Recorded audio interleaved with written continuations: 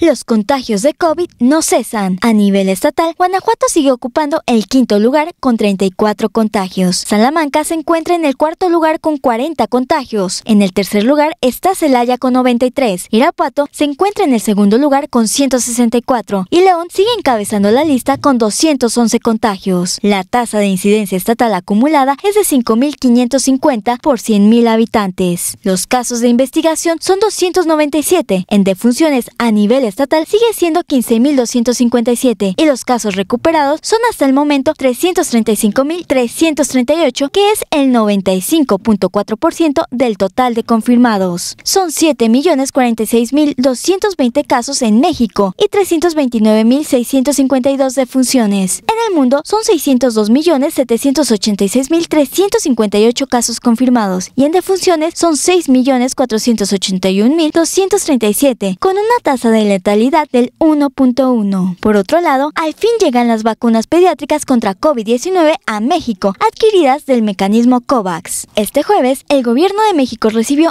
1.200.000 vacunas pediátricas Pfizer, adquiridas a través del mecanismo COVAX de la Organización de las Naciones Unidas, que se utilizarán para inmunizar a niñas y niños de 5 a 11 años. Este es el primer arribo del contrato de compra por un total de 10.003.200 biológicos a través de COVAX. Desde el 23 de diciembre del 2020 y hasta la fecha han llegado al país 126 embarques de vacuna Pfizer por contrato y en donativo, con un total de 64.436.445 dosis para niñas y niños de 5 a 11 años, adolescentes y personas adultas. El embarque arribó en el Aeropuerto Internacional de la Ciudad de México, Benito Juárez, donde fue trasladado por personal de laboratorios biológicos y reactivos de México del Centro Nacional para la Salud de Infancia y la Adolescencia, Y de la Comisión Federal para la Protección contra Riesgos Sanitarios, COFEPRIS, así como 48 elementos del Ejército Mexicano. El país ha recibido 180.336.145 vacunas envasadas de Pfizer, AstraZeneca, Sinovac, Johnson Johnson y Moderna. Hasta el momento se han recibido 204 embarques en 218 vuelos. Estaremos al pendiente de cuándo llegarán las dosis establecidas para la capital, ya que es de suma importancia que todos los pequeños capitalinos ya cuenten con sus dosis de vacunación contra el COVID-19. Para el sistema de noticias de TV Guanajuato con imágenes de Pablo Jiménez, le informó Carla Pérez.